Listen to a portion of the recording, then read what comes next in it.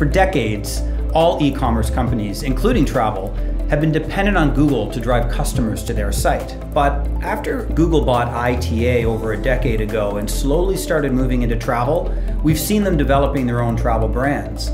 And now, with the launch of Google Travel after Google Flights, there's no longer that same ability to depend on Google to drive customers to an online travel agency site. In fact, the main search results from Google are now driving customers to the Google travel brands versus those of OTAs.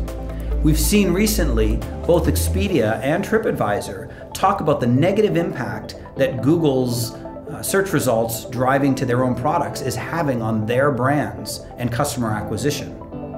That's going to be impacting other OTAs even more severely. Metasearch has been a important driver for customer acquisition for OTAs. And while it will continue to do so, we're seeing some of those large meta companies with more of a direct to consumer approach. In fact, Skyscanner is now creating a marketplace whereby they're allowing customers to directly book on the Skyscanner brand or driving customers to their parent company, Trip.com. OTAs need to be thinking beyond the traditional Meta and Google channels.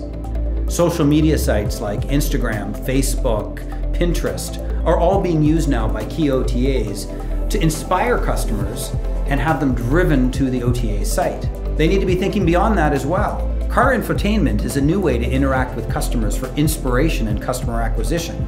With the growth of Apple CarPlay and Android Autocar, we're seeing a new way to interact with customers. At the end of the day, what's worked in 2019 and before is no longer going to be enough in 2020 and beyond. Generation Z is interacting with online travel agencies in the e-commerce world in a different way. OTAs need to be thinking about customer acquisition in new ways and using the latest technologies and social media platforms as customer acquisition strategies going forward.